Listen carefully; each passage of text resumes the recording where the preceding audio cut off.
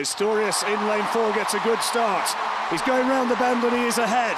I can tell you that Fourie of South Africa is going well also. And the Brazilian has a lot to do. It's Fourie who's closest contender, but here comes Pistorius, and look at the speed. The Brazilian's coming back at him. He's coming back and closing. Is he going to be beaten? Pistorius is beaten on the line. Alan Oliveira of Brazil has won this one in 21.45 seconds. A huge, huge upset. We just wondered whether Pistorius was going to be vulnerable from lane four. A tight draw. He could see the Brazilian outside him, but the Brazilian timed his run wonderfully. He had a lot to do in those closing stages, but he fair streaked over the last 60 metres. And the huge upset here, Oscar Pistorius, a wry smile and a shake of the head. Well, it happens. It happens. And that's what his mother said. The person who doesn't even try to compete is the loser. And look at Alan Oliveira just streaking around that bend, coming down the straight. And Annie Crates, that was just wonderful run from this youngster. The, sta the, the, stadium was almost in shock as Oliveira came past Pistorius with about 30 metres to go. This is Pistorius is the main, the last 30 metres. Nobody gets anywhere near him in the closing stages of a race.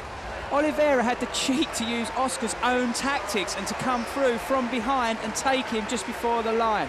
Pistorius got out really well in the race and looked really comfortable till about 50, 60 metres to go. And for the first time ever, you can see Oscar under pressure and straining.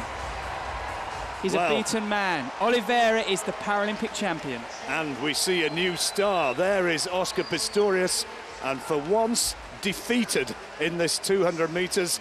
And I think we can, uh, in a moment, hear from Oscar Pistorius, who is with Sonia now. Well, Oscar, there was a, a wry smile and very sporting of you. You went and shook hands with the young Brazilian there, but I can only guess at your emotions right now. You're a, you're a real fighter. You would not wanted to have given up that title. No, I think uh, you know this was a very strong race of mine. As I said yesterday in the mix zone, the IPC don't want to listen. You know the guys' legs are unbelievably long, uh, and they haven't. I mean, not taking away from Alan's performance, a great athlete, but uh, you know, the guys, when we do the measuring in the call rooms, a year ago, these guys were over here. They're a lot taller and you can't compete stride length. You saw how far he came back. So, yeah, we're not racing a fair race here, but um, I gave my best at a great night.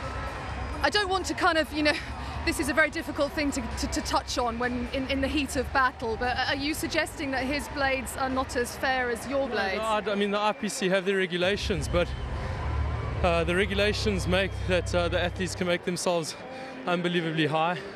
We've tried to address the issue with them uh, in the weeks upcoming to this, and uh, it's just been fallen on deaf ears. So you saw Blake Leeper yesterday. I mean, the guy came down literally overnight, made his blades longer. His, uh, his knee height's like four inches higher than what it should be. And the guys are just running ridiculous times, and they're able to do so. I mean, I think Alan's a great uh, athlete, but you can't come back. I run 10 meters per second, just over 10 meters per second. I don't know how you can come back uh, watching the replay from uh, 8 meters behind on the 100 to win. It's absolutely ridiculous. Well, there we go. I think Oscar Pistorius has made it, made it clear, John, where he thinks uh, the IPC need to be looking at those blades right now. Well, contra controversial words indeed from uh, Oscar Pistorius. And Danny, what did you make of what you heard there? What did you make of what Oscar was saying? There's the result. Oscar Pistorius beaten by Alan Oliveira, but real controversial words from Pistorius and not happy at the manner of his defeat. I think sometimes in the heat of battle, once you've come off the track, you sometimes let your emotions run wild.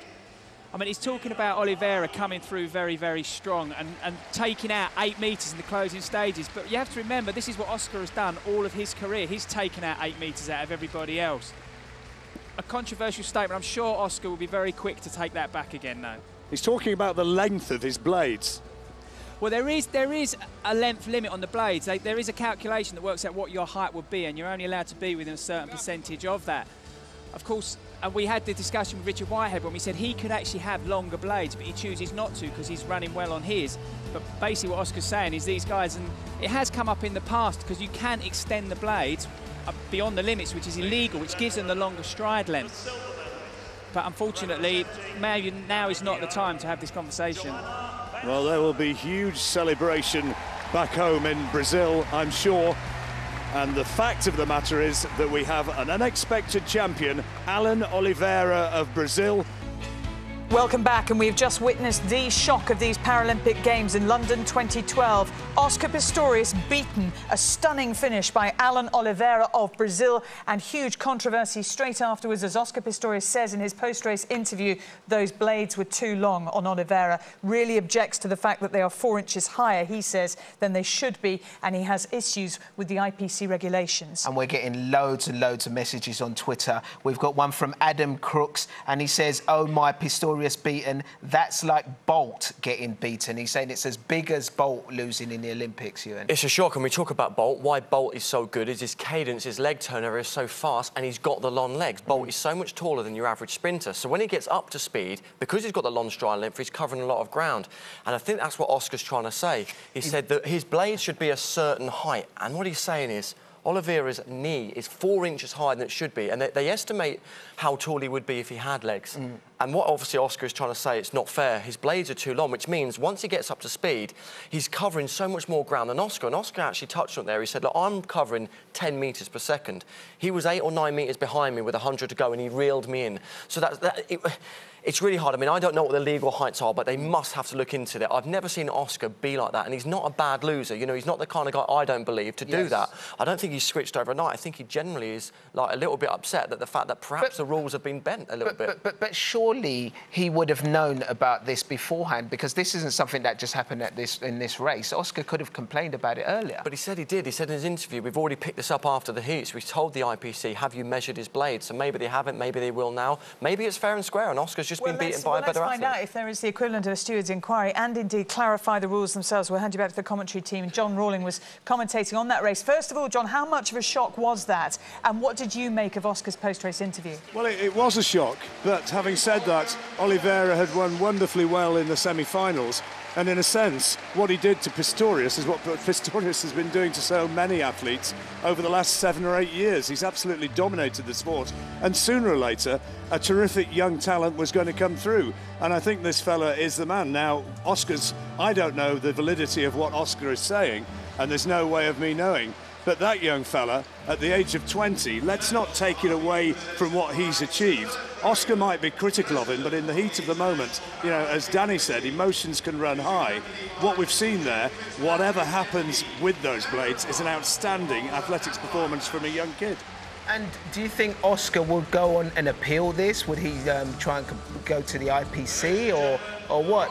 Well, I'm not sure about that. I mean, we've had no message from that maybe Danny would have a better idea about whether Oscar would be likely to do that. It sounded from his words as though he's certainly angry, didn't he, Danny? Well, I think um, obviously Oscar will go away and they will look at footage. South African team will look at the footage and they will make an, an, assessment whether they really believe this statement to be true. But I just hope it doesn't take it away from Oliveira. Yes. And I think we think we have to remember is Oscar was tightening up in the last 20 metres yeah. of that race and he was fading. He was under a lot of pressure. Oliveira put him under pressure. Leave me. Paralympics still kind of reeling after the 200 metres T44 and a mixture of reaction on Twitter. Some people saying, right, Oscar Pistorius is just a bad loser, should never have said it. Some people saying that Oliveira's blades did look particularly high. Maybe he's got a point. Others saying he just chose the wrong time to say it. If he's got an issue with the blades, he should have waited, put in an objection, just said, well done to Oliveira, and waited and put in the objection and, later. And, and his time is actually slower than the time that Oscar set in the, um, in the heat. Yep. So, you know, he could have run faster. He, he tied up. It looked like he tied tied up. It looked like that, and what you wonder whether Oscar mentally as well has seen Oliveira come out and almost started to think, oh, he's going to beat me, he's going to beat me. Anyway, uh, well, we heard from Oscar Pistorius almost immediately, and as you know, he was pretty angry and was making comments about the length of Alan Oliveira's blades. Oliveira obviously did a lap of honour. After he finished that, he came to talk to Sonia McLaughlin. Can we just ask Alan, first and foremost, Oscar Pistorius is a little bit unhappy about your blades. Could you give us an idea as are they the right length, do you believe? Então, Oscar Pistorius está um pouco infeliz com a altura das suas lâminas. Você pode dar alguma resposta sobre se você acha que a altura está correta? A altura está correta porque eu passei pelos árbitros, e isso que está importando. Eu ter passado na fiscalização dos árbitros, a partir que eu entro na pista está valendo tudo. Então, acho que o Pistorius deve saber disso e não é ele quem vai julgar a altura da minha prótese. Um, the, the length of my blades are all right because I went through all the procedures with the referees. And once I come inside the track, it's because it's all been cleared up. And I believe Pistorius also know that. Could you just clear up one thing? Did Alan change the length of his blades between the semi-finals and the a final? altura das suas lâminas entre as semifinais e a final? Não. Eu vim, eu tô há um mês com ela em Manchester. Você pode falar isso. Em Manchester eu, eu, eu coloquei ela a primeira vez e estava dentro das regras do IPC. No, since the first time I've put them on, they've been uh, forwarding the rules, the IPC rules, and I've been using them already for a whole month, just the same blades, according to the IPC rules. Can I just say, how proud are you right now to be an Paralympic champion? Você está em ser o campeão paralímpico. Muito feliz. Hoje eu estou escrevendo a minha história no movimento paralímpico. Alan Fonteles para o mundo. I am very happy. This day I'm writing my story on the Paralympic world. Alan Fonteles, Paralympic champion. Okay, Many congratulations to you. Thank you, thank you, thank you. I think it's really important here, Ewan, that we, we look at Alan Oliveira because he's getting overshadowed in all of this. It seems to be all, well, it is all about Oscar Pistorius, and uh, you can feel sorry for him, can't you? He's come out and he's run his best time and he's won the gold medal. That doesn't lie. The stopwatch doesn't lie. Oscar's not complaining that he lost, I don't believe. I mean, this guy hasn't come out and all of a sudden changed his blades and run 20.8. He's run fair and square, And I think, to be 21.45. fair, that Oscar's point is about the IPC regulations. Now, the IPC have said that um, everything that Oliveira did was within the test, um, but Pistorius' comment was the International Paralympic Committee have the regulations, but the regulations allow the athletes to make themselves unbelievably high. We tried to address the issue in the weeks leading up to this, but it fell on deaf ears. But you're right, Oliveira has put in all the training. You don't just turn up and win that by accident, He's however long your blades are. He's done nothing wrong. He said he's been, I've been running the same blades for the last month. So he's trained hard, he's come out and won the gold medal. Obviously, the rules are the rules, and he's running within the rules. He finishes really fast there. And, and you know, Oscar's got to say the rules are the rules. It's not his fault. They need to maybe change the rules. That's what Oscar's trying to say. But where do you draw the line? He's not doing anything illegal. The Brazilians come out and he's won the gold medal. The, the, the problem is that I find though is why has Oscar waited till now to complain about the rules? Because they've been around um, for as long as we know. You know, why didn't he complain about them ages ago? You know. Maybe he has done, I don't know, behind the scenes. Maybe he's already put in a request that you look into the lengths of the blades. But these kind of processes take time. I don't think they're going to suddenly t- tear up the rule book just because Oscar said something. You know, although he's the king of the sport, rules are there and it probably takes a long process to get things looked at and get them changed. But- Oscar may change what, what he said overnight. I don't know. I mean, nobody likes to lose. As I said, I'm quite shocked the way that uh, Oscar had a bit of an outburst because it, it, it's not in his character. So obviously he feels very strongly that the rules need to be addressed. But as we sit here tonight, the rules are as they are and the guy's done nothing wrong. It's going to make the 100 metres even more interesting and, And the the 400 because Oliveira's in that as well. And you, when did you, you first went to Paralympic Games in 1990? No, 2000. In 2000. I first went to Paralympic Games in 2000. I've never known No. a fuss like this. Yeah. I mean, it's Yeah. off the scale. Yeah. And the one thing you can absolutely say is the Paralympics has come of age. this is front page news. This is huge. This is huge, and rightly so. If there was a, an equivalent story in the Olympics, we'd all be talking about it. And I think mm-hmm. it's about time that the Paralympians get, get the headlines and the credit they deserve. It's, it's headlines that we're all talking about. It's trending on Twitter. This is how the world has changed. The Paralympians have become, in their own right, stars, and it's right. Just one last comment on that, Ewan, because you've got a very interesting Yes. statistic. Well, it was quite interesting. Oscar came out and said there's something wrong with the length of the blades, and we, we alluded to the fact his stride length would be longer. Someone's tweeted me said Pistorius took 46 strides, Oliveira took 49 strides. The stride length isn't the argument, so very it will roll interesting on and points on. on which to end. We'll be back tomorrow night. Adam Hills coming. That's that's properly amazing. Isn't? He's complaining Yep. that a guy who has no legs below above the knee, Yep. his legs are too long. Yes. I don't think you can complain about that. Most of the leg isn't there.